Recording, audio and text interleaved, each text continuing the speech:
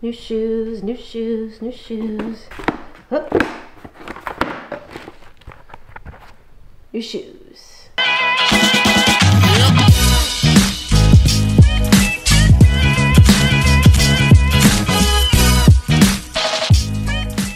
Good morning, YouTube. It is Sunday. Sunday run day. Yeah.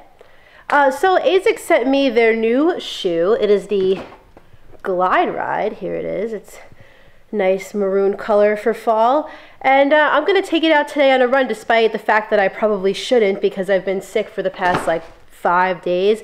We're going to take it easy. We're going to go for a little spin and I'm going to give you my thoughts and my first run impressions of the ASICS GlideRide. In my personal opinion, I think ASICS knows they need to step it up. Uh, they've kind of been doing the same thing for a long time and they have a really loyal following, but the running game is changing. And I think that the ASICS MetaRide, which came out a little earlier this year, was kind of their attempt to compete with shoes like the Carbon X and the Vaporfly.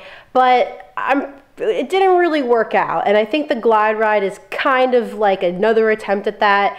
Um, it doesn't have a carbon fiber plate, but you know, it's something new, something different. So we're gonna see, will they make me glide or will I push them to the side? I don't know, just, just stick around for the run.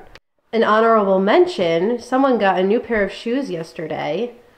What you got there? The Hoka Carbon X. So this is gonna be her first run in these shoes as well. See how it goes. Excited? Yeah, I'll let you know. this has nothing to do with anything today, but I, I just need to show you how ridiculous this is. How big my foot is and how small her foot is. So this is my shoe. This is my Carbon X, okay? Okay, great. So let's put them together. Wait, wait.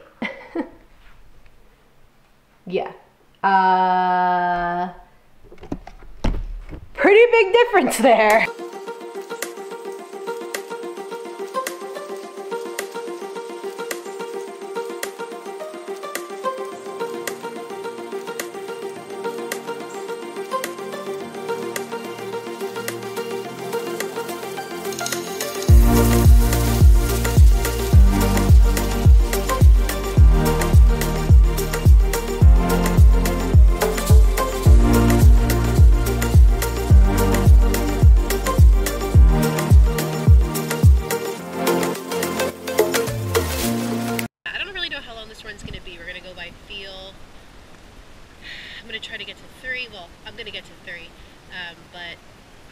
Beyond that, I'm not really too sure. We'll see.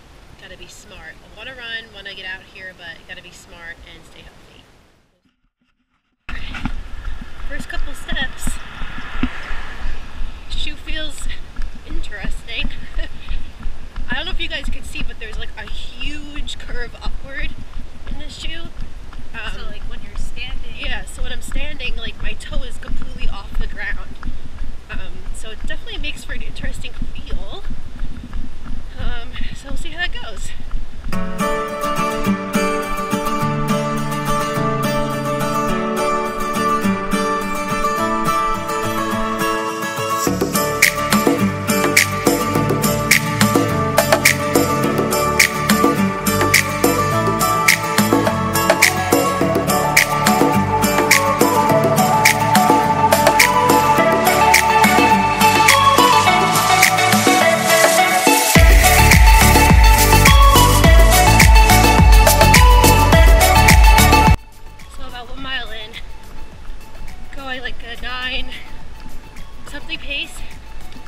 taking it easy. The shoes feel unnatural so far. That like curve upward, I definitely feel that, but I don't know if it's necessarily in a good way. But of course this is the only the first mile, so I'm gonna give my feet some time to adjust to that and see kind of how we feel for the next mile or two. How are you doing back there? How do you like them? Good so far. Okay. It's a good evaluation.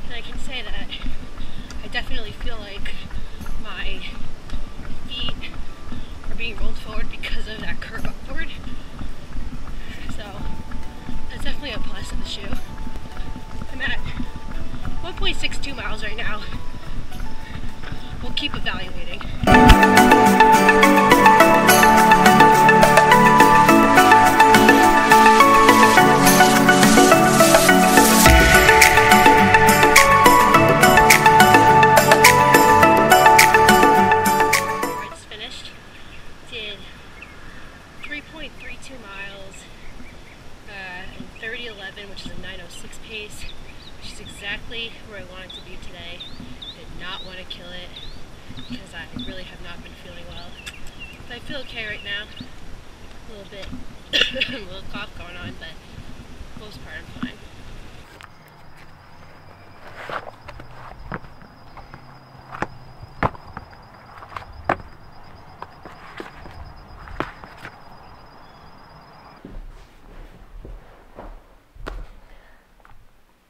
let's talk about the GlideRide.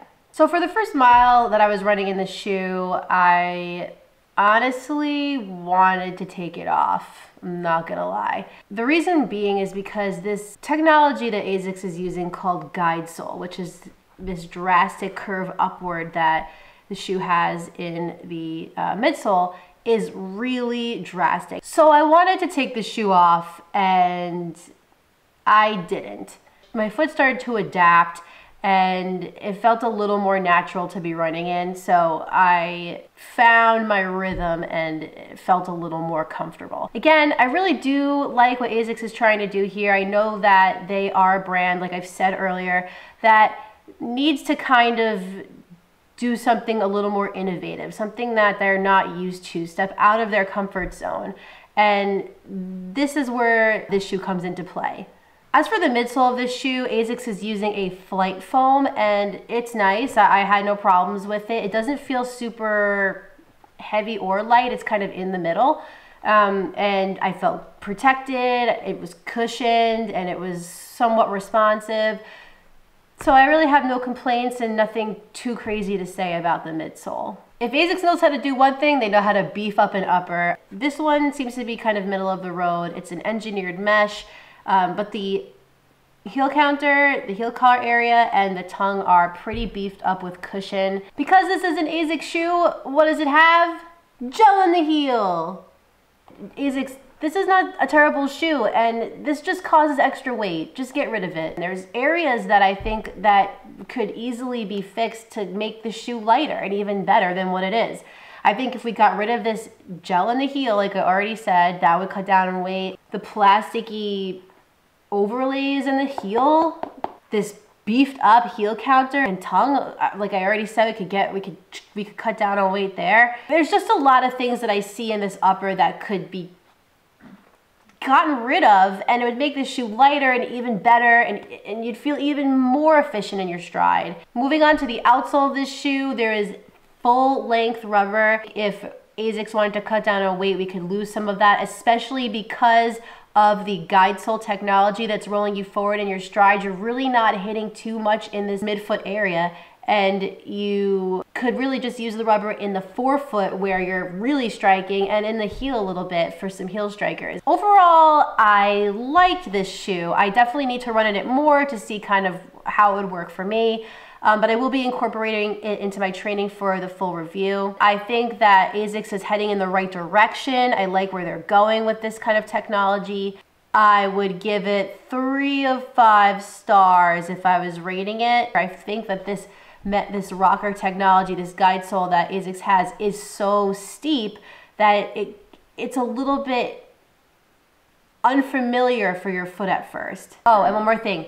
Get a pull tab. All right, guys, that's pretty much all I'm gonna say today because I'm gonna do a full review of this shoe. Thank you so much for watching, and if you like this video, please subscribe. If you're interested in the full review, stick around because I will definitely be getting to that as I put more miles in this shoe. The Hoka Carbon X full review is also coming soon, so please stick around and watch out for that. In the meantime, get out there, get on the grind, and don't forget to run like Heller, even if you have nasal congestion. I'll see you guys next time.